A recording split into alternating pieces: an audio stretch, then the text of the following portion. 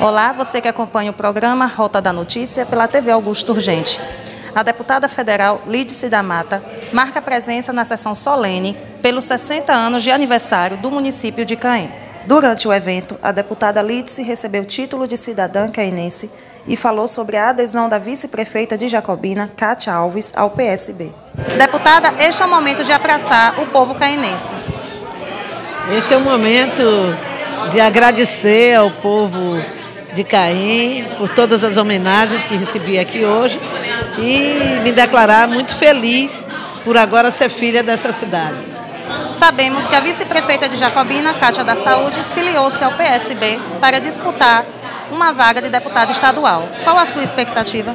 A minha expectativa é que ela tenha um grande desempenho aqui em Jacobina e na região. Cátia é uma mulher de luta, uma mulher respeitável e fiquei muito feliz com sua filiação ao PSB. Deputada Lídice, qual a importância de ter Cátia da Saúde como deputada estadual em Jacobina?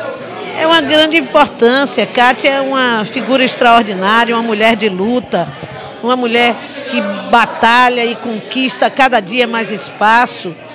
E para o PSB, que tem a expectativa de fazer em torno de três deputados, é uma possibilidade real a sua eleição.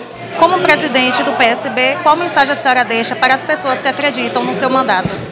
Olha, nós vivemos um momento muito difícil no Brasil e no mundo com a pandemia. Mas graças a Deus, a ciência, a luta é, daqueles que acreditam na razão e na ciência, nós estamos conseguindo debelar, diminuir o impacto desta pandemia na vida das pessoas.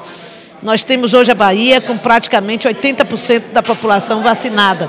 Apesar de tanta propaganda contra a vacina, nós estamos vendo que ela está servindo para salvar vidas.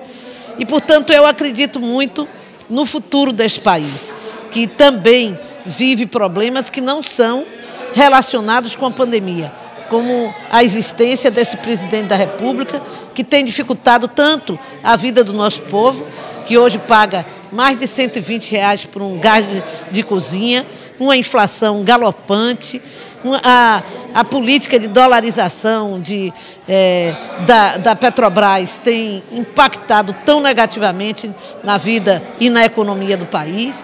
E nós temos uma grande esperança que outubro signifique a participação decisiva do povo brasileiro nas urnas para tirar esse presidente e para devolver a esperança do povo brasileiro com Lula presidente. Com imagens de Luiz de Jesus, Tiara Souza, para o programa Rota da Notícia.